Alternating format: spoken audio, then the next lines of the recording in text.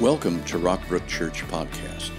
Today's message is part of a series called Building Your Life on Values That Last. We know that God designed values for us to live by and to give us meaning and purpose in this life. We would love to hear from you and how God is using this message to give you a new perspective and hope. Email your story to church at rockbrook.org. Good morning, everybody. Uh, we're continuing on in our series on values today, looking at the value of honesty. Honesty, you know, the Bible has a lot of significant instruction on honesty. Examples of men and women who were honest, examples of men and women who were not honest, and the things that happened to them. The most radical being uh, the couple in the New Testament who were not honest and were struck down and died on the spot and how many of you are so glad that God doesn't seem to be using that same technique uh, today? Uh, this place would be completely empty. I'd be here all alone with no one to talk to.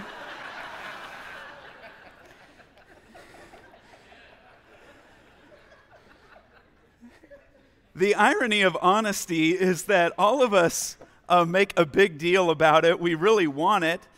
Uh, but in practicality, we give it little value. Uh, but when parents are asked to describe the number one quality they want in their children, what is it? Honesty. We even teach our kids. How many times have you heard a parent say to their kids, I know you're going to mess up?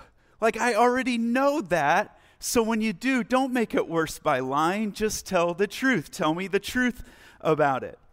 And one of the things that I have just been realizing again in preparing for this week is how many opportunities there are in any given day to be dishonest. Every conversation, every phone call, every interaction, we have dozens and dozens of opportunities to be dishonest, so much so that we expect a level of dishonesty in our lives, in our advertising, in our politics, in our conversations. I mean, there's just lines, even that we hear all the time, that uh, they're lies and they've just become a joke to us. The, the check is in the mail.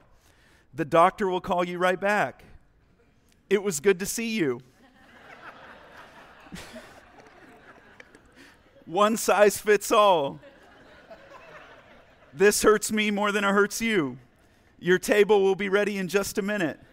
Pastor Ryland, your jokes are funny. It's just lies and lies and lies read this week uh, in an article that research published in the Journal of Basic and Applied Psychology indicates that when Americans are talking to each other, 60% tell at least one lie in a 10 minute conversation.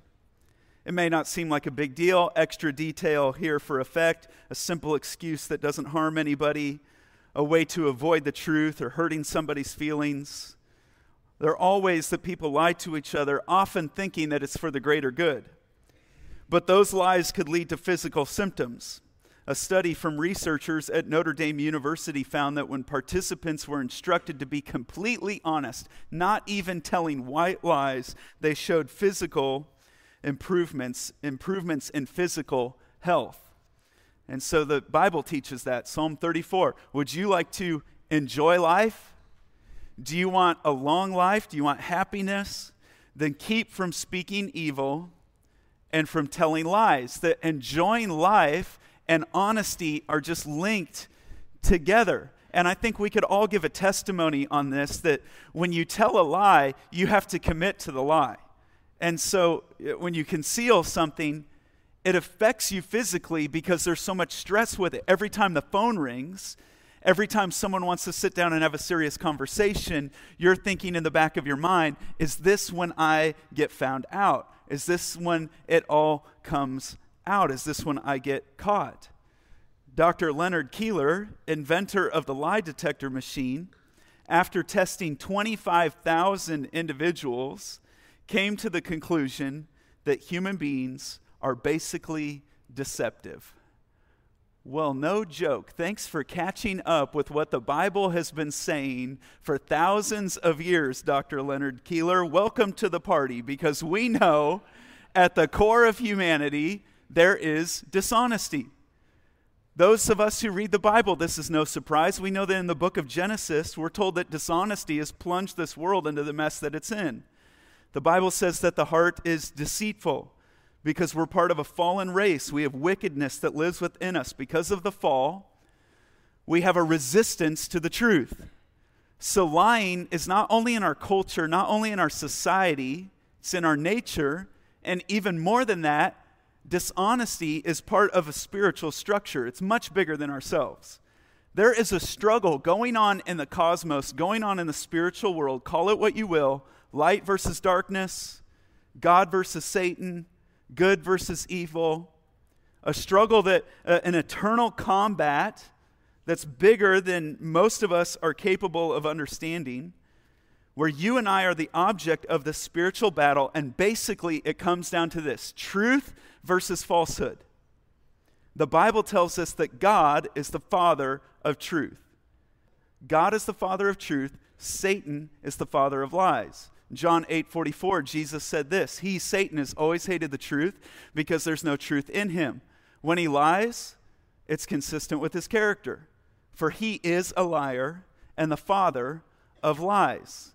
And so the Bible doesn't candy coat it, Christ doesn't candy coat it. Basically, it's saying God is on one side, Satan is on the other, and they are opposed to each other, and you and I have a choice. Do we follow culture or the Creator? Do we follow God or do we follow Satan? And how we choose to use our words and how truthful we are, we're picking a character each time that we are being conformed to, that we are following. And when it comes to the Creator, God's view of dishonesty, Scripture says He hates it. And that word that, that's used there isn't even used that often in Scripture. The word hate, it means it's dis- disgusting, detestable, utterly and thoroughly repulsive. Dishonesty is repulsive to God. Why? Why does, why does he hate it? Because he is the truth, and it's a perversion of his character, and because we're made in the image of God, and when we lie, we're perverting who we were created to be. And so God places a high premium on truthfulness. And he invites you and I to have a love affair with honesty. And so, how can we be honest in a dishonest world? How can we follow the character of God when we're tempted to do otherwise? How do I tell the truth? Well, if you're taking notes, it starts with this I've got to make a commitment to tell the truth consistently. Consistently. You know, someone may tell you the truth 80% of the time, but if they're not truthful all the time, how do you know if what they're saying is the 20% that's false? And that's why God invites us to have a lifestyle of honesty. You know, nobody has a good enough memory to not do this. No one has a good enough memory to be a liar. Because when you tell a lie, you got to remember the lie that you told, and then it affects another area of your life, and you've got to remember all these things. If you just tell the truth, you don't have to remember anything because it's just the way that it happened.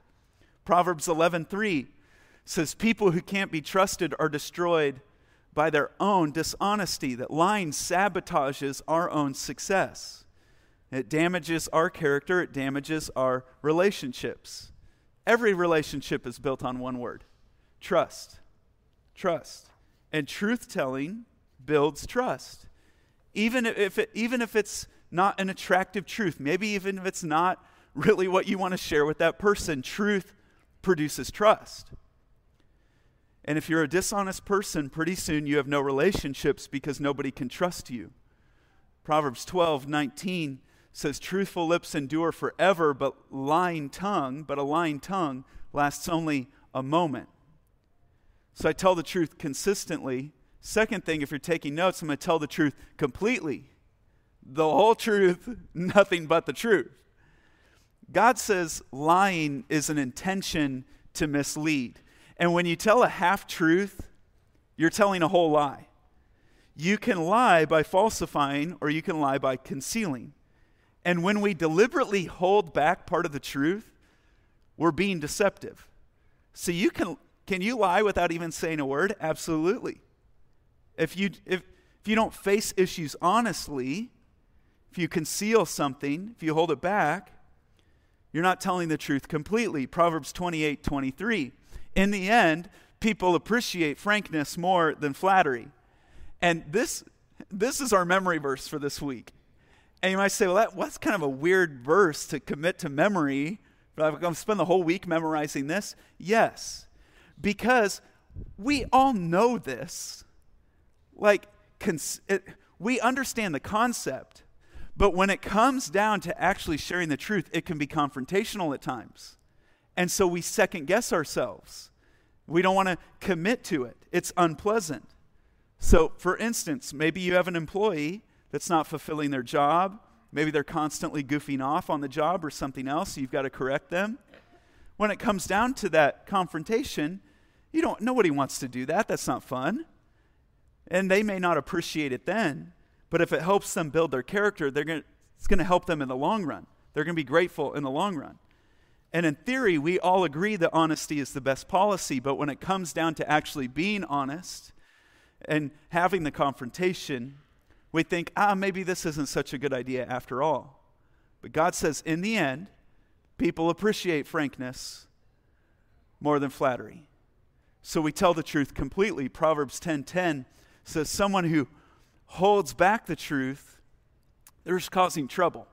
He's talking about concealing. What kind of trouble do you cause when you hold back part of the truth? Well, you cause mistrust, superficiality, resentment. You get into trouble by not saying what you mean, not meaning what you say. And marriages often get in trouble in this area because during the engagement period, they lie to each other. Maybe not overtly, but they lie by not facing the issues that they need to face. There may be major differences. There may be major wounds. There may be a major conflict that's consistently swept under the rug or pushed aside because, hey, we want to enjoy our engagement. We want to plan a wedding. We want to be in love with one another. And then afterwards, the truth comes out. Why, why would we ever hold back the truth? I think that's a big question we've got to wrestle with this weekend is why, would, why do we lie? Why would we ever lie? Why would we hold back the truth? And once you understand the motivation behind the lies we tell, you can deal with the real issue. Because lying is not the real problem. That's an outward action, it's a symptom of a deeper problem. Jesus said it this way He said, The mouth speaks what the heart is full of. So lying is the outward action, but it's just an outward action of what's happening on the inside the way you think, what you believe, what's in your heart, what you're motivated by. So, uh, if I'm going to become a person of integrity, if I'm going to become an honest person, I don't start with my lips, the outward action. I've got to deal with the way I think, what I believe, what's motivating me. So, I have found it helpful to just categorize lies uh, by some different motives and different kinds. So uh, here, here's some lies we tell. In just a minute, I'll give you the, the motive. But the cruel lie, it's a type of lie that we tell. And it's s- someone has hurt you, and you want to get even with them. So you misrepresent them. This is called slander. And slander means that you make up something about somebody that's not true with the intentional purpose of damaging their reputation and we see this all the time in our culture. The Sadducees did this to Jesus. They brought false charges so they could uh, get him on the cross. And the cruel lie is an intentional, mischievous lie. What's the motivation behind this lie? Lots of motivations jealousy, anger, rage, hate, revenge. I think we could sum it all up with this word if you're taking notes that is resentment. Cruel lies are driven by resentment. Number two, the cowardly lie. And this is the kind of lie that you tell to escape consequences. So you want to avoid the punishment. You want to prevent the pain. This is the, this is the motive of the my dog ate my homework lie. That's the classic lie. This is the lie that Adam told in the Garden of Eden when he sinned. He didn't take it like a man, he blamed his wife. When you don't want to get in trouble, you tell a cowardly lie. What's the motive behind that kind of lie? The motive is fear. And God says the fear of man is a snare, is a trap. When a person when one person has an overwhelming personality and you just go along with them, you just go along with it, we end up telling uh, fearful, cowardly lies out of fear. When you don't stand up for what God says is acceptable or unacceptable because of fear, it's peer pressure. It's peer pressure. When you don't have the courage to say no, it's a cowardly lie. Next lie, next type of lie is the conceited lie. And this is where we tell lies to impress, to cover for a mistake. The motive is insecurity. Insecurity. And it comes out as pride sometimes, but when you strip away pride, you generally find insecurity. We don't we do this when we don't want to share what the real grade we got is and get help. We'd rather have people think we're smarter than we really are. It's pride or insecurity. You know, the fish gets bigger every time. And you begin to tell these stories because it's just I'm not good enough just the way I am. The way the story actually is, people may not like it. It's the kind of lie we use when we try to hide our hurt. And if someone, else, if someone has wounded us deeply, we say things like, well, that, that doesn't bother me. They don't bother me. When really they do. And if someone's making a threat and we say, well, just go ahead and leave and see how I feel, we're te- telling a cowardly lie, saying uh, that what you do isn't going to affect me when it really will. The lie is based on insecurity. Another type of lie is the calculated lie. And this is a lie that we strategically use to manipulate other people or situations when we want our way. We want what we want, we're going to get what we want to get, and it's motivated by greed. By greed. And when you love what you want, when you love money, you will use a calculated lie to get more of it. And the last type of lie we'll talk about today is the convenient lie. The convenient lie uh, we tell because it just takes effort to tell the truth, doesn't it? It's just, it's hard work. It takes effort, it takes time, it takes clarity, takes energy.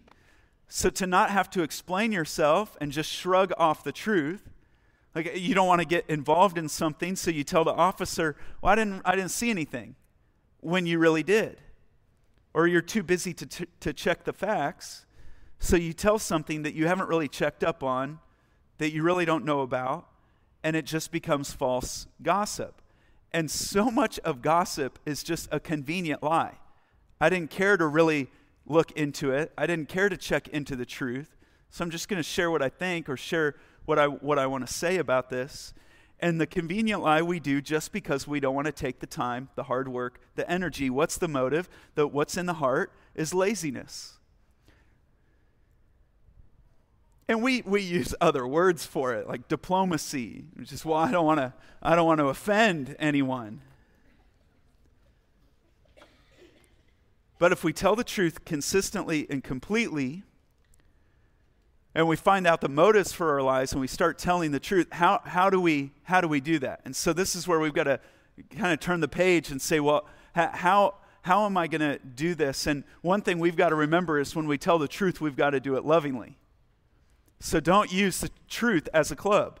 Don't beat people over the head with truth. So just think of somebody in your mind. Bring to mind somebody now who you would like to help change. You would like to help them make a change in their life. People change easier and people change faster when you speak the truth in a spirit of love. People always perceive truth without love as an attack on them personally. You, what you say might be 100% right, but if it's yelled, if it attacks the person rather than the problem, if it's beaten over them, if it's used as sarcastic jabs or, or under the table jabs constantly, they resist it. They become defensive against it. They don't want to hear it because it's perceived as an attack. So we must speak the truth in love. Ephesians chapter 4 is a great uh, place to study this. You may want to read that chapter in your small group this week or in your personal study. The Apostle Paul is talking about uh, heresy and the different lies that there are out, out, there about Christ and Christianity. He starts talking about uh, the gifts that God has given the, the church to build them up in truth. And he says, We will speak the truth in love, growing in every way more and more like Christ, who is the head of his body, the church. So, how do I know if I'm speaking the truth in love? Ephesians 4:29 tells us. Don't use foul or abrasive language. Let everything you say be good and say this word with me, helpful, so that your words will be an encouragement to those who hear them. How do I know if I speak the truth in love? You ask yourself this question Who am I trying to benefit from this? So, am I trying to change them so it'll be easier on me? Or am I sharing this with a friend or loved one because I really care about them and want them to be the best that they can be? If I'm doing it for their benefit, then it's coming from a loving attitude. I'm speaking the truth in love. If I'm doing it just to help me out, to help my reputation, or to make life easier on me, it's a selfish motive. So we speak the truth in love. Number four, we tell the truth tactfully being honest does not mean being brutal. It, it does mean being clear. So it uh, doesn't mean you have to introduce a bunch of mystery and veil the truth and, and, and have so much tact that, well, now what, what are we saying? It does mean you be clear, but you don't have to be brutal to be clear. And whenever you need to share a tough truth, the solution is never deception, it's tact, not deception. Proverbs 12:18 says thoughtless words can wound as deeply as any sword, but wisely spoken words can heal. And if you think about it, emotional wounds last longer than physical wounds.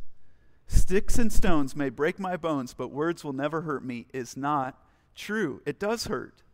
And when you speak the truth in love and with tact, you can learn how you can learn how to make a point without making an enemy. Have you learned that skill? Have you learned how to make a point without making an, eh, turning that coworker into an enemy?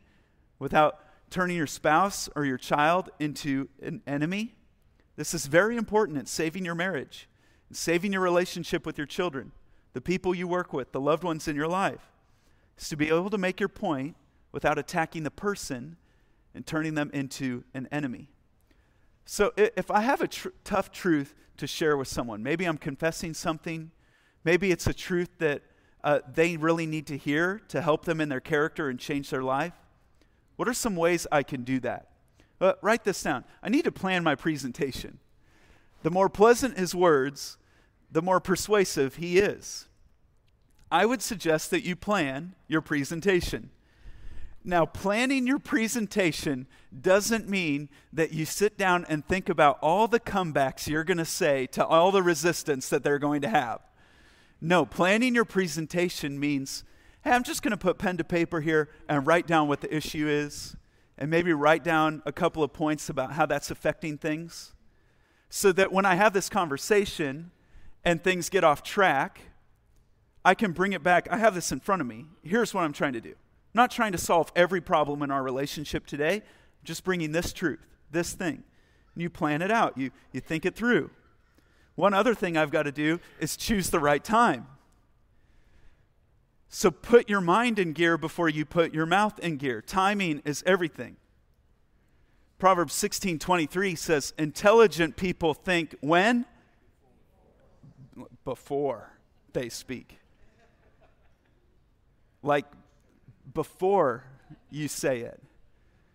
The other night, Thursday night, 10 o'clock at night, I get home, and I chose that as the time to bring up a very tough subject with my wife. We're both exhausted from the work week, we're both frustrated. It did not go well. And afterwards, I, I thought of all these ways I could have done it better. I didn't think before. But how many times do we speak and we think, well, I haven't really thought this through yet? Yeah, think it through before. And if you say, I really want to be a person of integrity, you've got to think it through before. You've got to come to God and say, Well, God, I'm going to start with me. And I admit, I admit it, I'm a liar. And God, I don't always tell the truth. And sometimes I tell half truths. and you ask Christ to forgive you and give you the power to change and say, God, I, am powerless against this. I need you to put a new heart in me. And He will begin to replace deception with the truth as you begin to let Christ more and more in your heart. And you do that by making a choice. Not in your notes, but as we leave here today, we all have a choice of are we going to care about our reputation or our character? Because reputation is what other people think of you Character is what God thinks about you. Reputation is what you want everybody to believe. Character is reality. Reputation is what impresses people, character impresses God. Reputation is what your spouse or your parents think about you. Character is what you do when your spouse or your parents are out of town. Reputation is what people believe about you. Character is who you really are.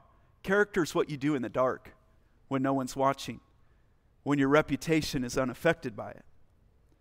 And when you say to God, God, I'm more interested in my character than my reputation, then you'll tell the truth, even if it's not good for your reputation. Because you know in the long run, it's building your character, which is the only thing you're taking into heaven with you. You don't take your reputation into heaven. God says everything will be revealed. So, do you care about your reputation or your character? And if you do, I would suggest that you confess it to God, you come to God, and then you get some support. Like, come clean in your small group this week. That's a safe place to do that. Celebrate Recovery is an amazing place to get a fresh start with honesty. I don't know how many people I've heard from that went to Celebrate Recovery to work on, a, on an addiction, and they said it had this whole other benefit where I came out an honest person.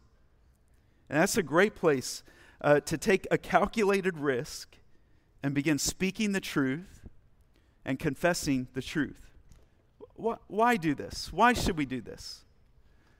Actually, I want to end kind of on an up note today of what's the motive behind all of this? Why does God want us to speak honestly, and what does He promise to do for us? Three things very quickly. God blesses honesty by guarding us. He is a shield, and that word shield is like a bodyguard to those who walk with integrity. He's like a bodyguard to our spirit, to our character. He also promises to bless us by directing us. By directing us. The godly are directed by honesty, the wicked fall beneath their load of sin. And oftentimes, uh, when people say, I just can't get God's clarity for my life, I don't know God's will for my life, my purpose, any of those things, it's because they're being dishonest in an area of their life. When we're honest, we see God's way. The direction becomes very clear.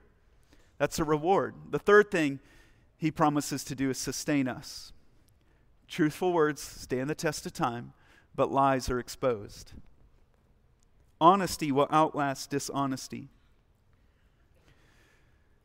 When I was a teenager, I was in youth group, and I remember hearing a story that some of you may remember. It, it, made national news. It was about a story or about a couple, a newlywed couple in Chicago, who uh, they got married and then they opened their presents before they left for their honeymoon. So they opened all the cards, all the presents, pulled out all the cash from their big wedding, put it in a suitcase to use on their honeymoon. They put the suitcase on the trunk of their car and drove off. $12,000 lying in a suitcase in the middle of the street, and an unemployed guy finds it. And he, what does he do? He was an honest man, and he went to all the work to find the couple and return the money. The city of Chicago went hysterical about this guy. How can an unemployed guy do something like that? Why didn't he just take the money? He had to search to find out whose it was. When the story broke, this guy got job offers from Sony, Hilton, Hyundai, Motorola, and more. He was rewarded for his honesty.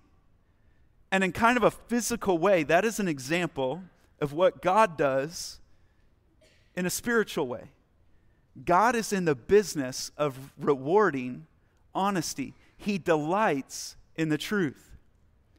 And you know what? I've seen people rewarded for their honesty in this life. Absolutely. I'll tell you, I've also seen people lose their jobs because of honesty. They finally confess something, Maybe they wouldn't be dishonest when the company was pressuring them to be unethical.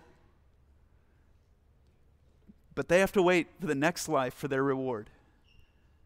You have to care, you've got to decide what you care about, your character or your reputation. You and I have to determine who do we trust and who are we putting our hope in. Let's pray together.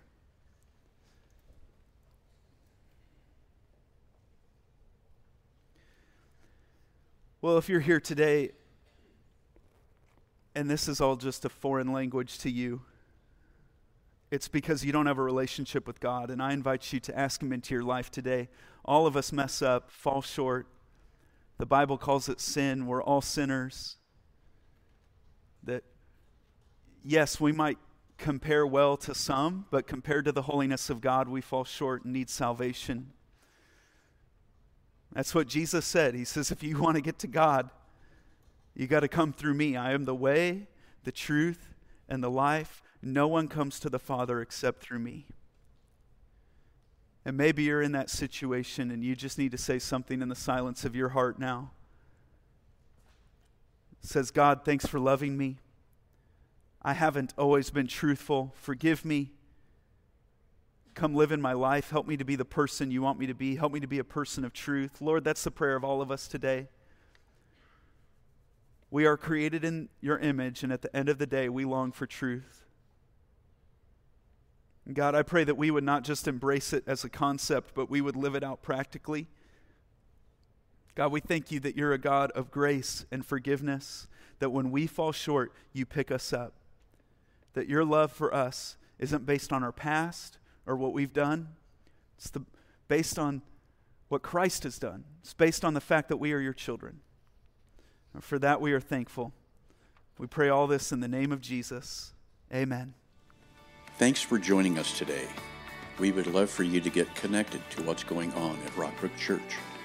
Visit us online at rockbrook.org for service times, small group information, and other ways you can discover your purpose here on earth.